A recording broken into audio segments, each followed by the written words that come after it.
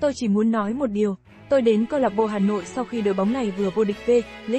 Ở trận siêu cúp, tôi chỉ có một một ngoại binh, rồi sau đó, tôi không có văn quyết sau 3 tháng.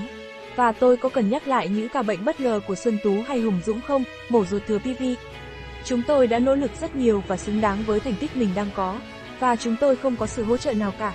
Kể cả có thua tôi cũng đến chúc mừng đội bạn. Với tất cả những khó khăn vừa qua, chúng tôi xứng đáng tận hưởng thành quả mà mình đã vượt khó để đạt được.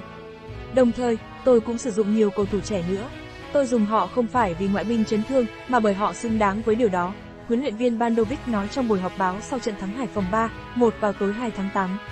Ở trận đấu này, VA đã được áp dụng.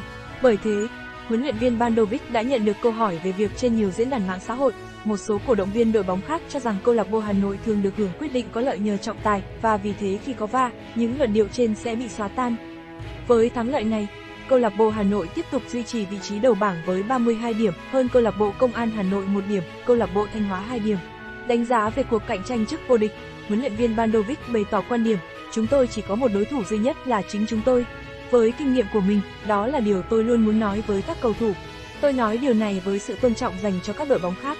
Bởi nếu có kỷ luật, sự tập trung và chất lượng chơi của mình thì chúng tôi có thể giành chiến thắng tất cả các trận đấu.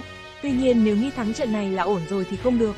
Ngay ngày mai chúng tôi sẽ lại phải chuẩn bị cho trận đấu tiếp theo, và đó là điều mà chúng tôi cần tập trung và cố gắng hơn nữa để đạt được thành công.